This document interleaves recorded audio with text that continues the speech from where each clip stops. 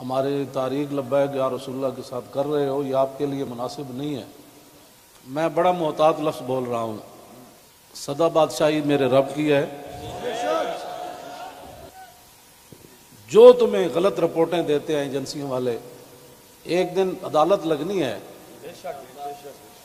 جہاں ایک بلی کو باندھنے والی عورت جہنم میں چلی گئی، حضور نے فرمایا، میں نے دیکھا اس کا چہرہ نوچ رہی تھی۔ تو تم ان حضور کے غلاموں پر جیسے شیلنگ کرتے ہو اور جس بے دردی کے ساتھ تم ان کو گرفتار کرتے ہو، پھر لبیک کے نعرے کے اوپر تم مارتے ہو ان کو۔ جس دن آپ عدالت بیسی تل تل لکھیا بھرنا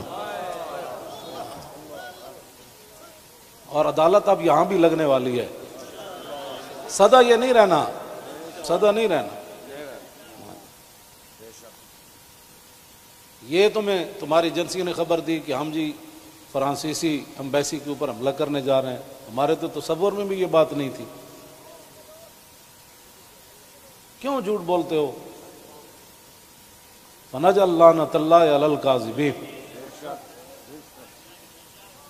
کیوں جھوٹ بولتے ہو؟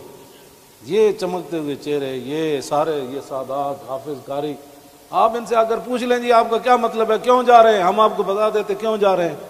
میں نے ادھر بھی وہی تقریر کی، کراچی میں بھی وہی کی، چڑھتی ہے جب فقر کی سام پہ تیغ خودی۔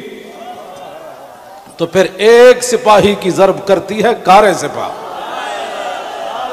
جن کے تم کہنے پر مسجدوں میں جوتوں سمیت داخل ہوتے ہو۔ اور جن کے کہنے پر تم حفاظ اور قرا اور علماء اور سادات کو اور علماء نے رسول پر ظلم و ستم ڈالتے ہو۔ تو آپ کو پتہ ہے، حضور نے کیا فرمایا، من آزا مسلم فقد آزانی حضور نے فرمایا، جس نے کسی مسلمان کو دکھ دیا، اس نے تو مجھے دکھ دیا۔ کوئی ہمارے مقاصد ایسے نہیں ہیں۔ آپ کو ایجنسیاں غلط رپورٹ دیتی ہیں۔ اور انشاءاللہ یہ قیامت والے انگلیاں بھی بول پڑیں گی۔ جو تم ہمارے خلاف جھوٹ لکھتے ہو نا، کہ یہ منصوبے بنا رہے تھے، یہ دہشت گردی کرنا چاہتے تھے، ہمارے یہ مقاصد میں بات نہیں ہے۔ ہم تو اتنا چاہتے ہیں کہ بس سفیر نکال دو، بات ختم۔ ہم ہم نے کیوں اس کو آگ لگانی ہے؟ باقی رہ گیا ہندوؤں کا مسئلہ تو ہمیں قطب مینار بھی قطب الدین ایبک چھوڑ کر گیا دہلی میں۔ دہلی دی جامع مسجد بھی ساڑی ہے۔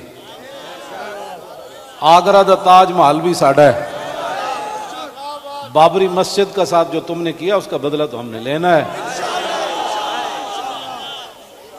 ہاں۔, ہاں۔